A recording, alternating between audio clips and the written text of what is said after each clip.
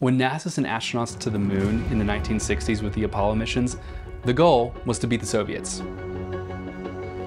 America won the space race, and shortly after, Apollo was canceled. It has now been 50 years since a person last stepped foot on the moon, and now we are about to go back. This is called the Artemis program, and unlike its older brother, Artemis is not about short trips to the moon. No, Artemis is about long-term presence on the moon for decades to come.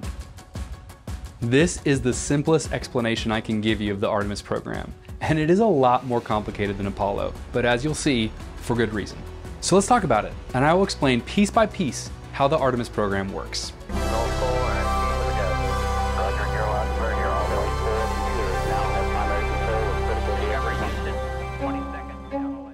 The best place to start is actually right here in the center.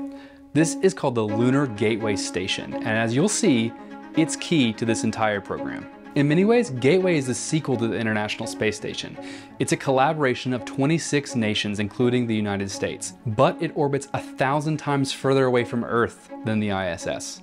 The Gateway is not just a science laboratory, it's actually base camp for astronauts who are about to explore the moon.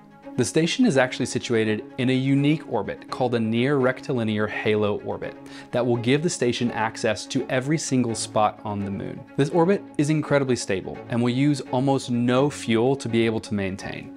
But interestingly, because Artemis will only take missions for a month or two at a time, at least for a while, this station will actually be uncrewed for most of the year. During that time, the Gateway Station has actually been designed to allow scientists to do work remotely, doing experiments, studying the moon, studying Earth, and studying the sun 24 7. Next, there is the Artemis Lunar Lander, or the HLS. Artemis will actually have two lunar landers at first, one from SpaceX and one from Blue Origin.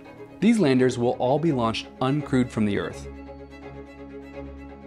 They will actually get refueled in Earth orbit until they have enough fuel to make the 400,000 kilometer journey to the moon. Then the lunar lander will autonomously dock with the Lunar Gateway Station to await the crew.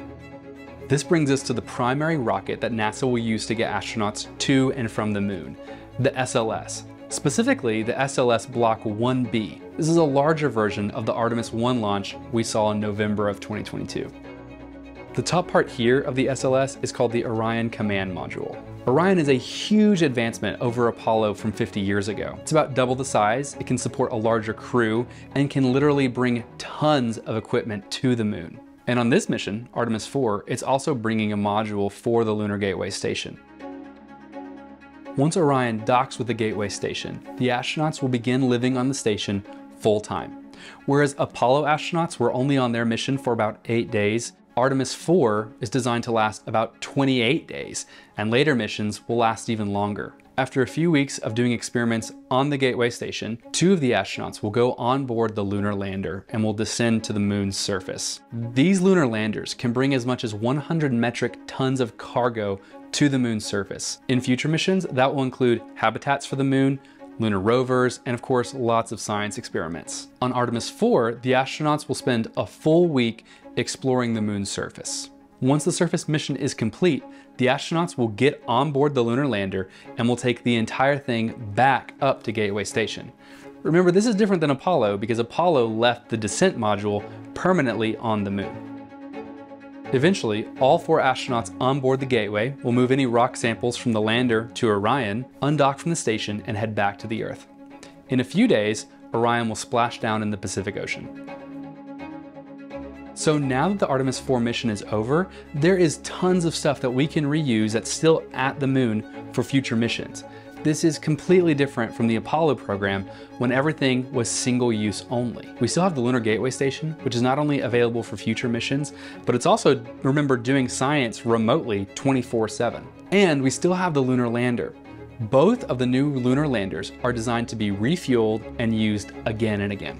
So if we compare Artemis 4 to Apollo 11, you'll see Artemis is a lot more complicated. There's a lot more going on. But that's because Artemis is doing a whole lot more than Apollo and costing a lot less. And Artemis is designed with the future in mind. Whether you want to build a base on the moon, you want to study it from orbit, you want to study the effects of deep space on humans, or you want to build a ship to go to Mars, Artemis is designed to be that next step.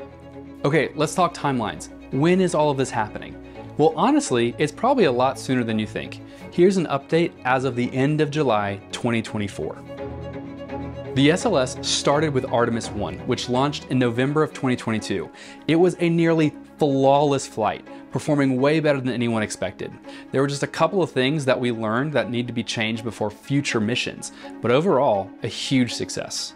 Artemis 2 will be crewed by these four astronauts. Right now it is scheduled to launch no earlier than September of 2025, next year. Now, Artemis 2 will not land on the moon. It's meant to be a flight demonstration with a crew and will instead orbit the moon for several days before returning back to Earth. The Lunar Gateway Station is under construction right now in the United States, Canada, Japan, and Europe. The first two segments are scheduled to be launched on a Falcon Heavy rocket no sooner than October of 2025, next year. SpaceX Starship is scheduled to have its fifth test flight any day now here in 2024. The Starship honestly is a revolution in rocket design. The entire super heavy lift rocket is designed to be reusable. And of course, Starship will serve as the very first lunar lander, the Starship HLS. But Starship is an incredibly ambitious design and I would expect a few more delays before it's ready to carry anyone to and from the moon. Artemis 3, which is scheduled to be the first landing of the moon under the Artemis program, is set to launch no earlier than September of 2026. At this point, that massive Starship lander would likely be the primary reason for any delay. The HLS has been identified as a top risk for delays by NASA, and they've given it about a 60% chance of making that 2026 launch window. Artemis 4, that mission we just walked through, is set to launch no earlier than four years from now, September of 2028. So Artemis 1 through 6 are really about getting everything up and running and making sure that the hardware works as we expect it to. After that, Artemis will be fully operational, and at this point, missions are set to take place once every single year. As missions become more frequent, they're also set to become a lot longer. By the time we get to Artemis 11 in 2036, that mission is set to be as long as one entire year. So will there be delays? Yes, probably. There have already been quite a few delays, but all of this is going to cost about half as much as it costs to send people to the moon under the Apollo program. Artemis has a lot of new technology and a lot of firsts. For example, no one has ever done a fuel transfer in space like we'll have to do with Artemis. No one has ever landed 100 metric tons of cargo on the surface of the moon. No one has ever built a space station remotely 400,000 kilometers away. No one has ever built a super heavy lift rocket that is 100% reusable. If you've seen the crewed Boeing Starliner tests over the last several months, you'll know that testing new hardware is challenging. You don't know what you don't know until you actually fly the stuff. But unlike with Apollo, we have time on our side. Artemis is a marathon, not a sprint. So that's a brief overview of the Artemis program. On the surface, it is a little complicated, but that's because it's incredibly ambitious. If all goes to plan, we are going to have a sustained human presence on the moon within this decade. I'm doing a whole series on the Artemis program. We're gonna break down each component of what we walked through today and see how it all works together. So be sure to stay tuned, like, and subscribe. Thanks for watching.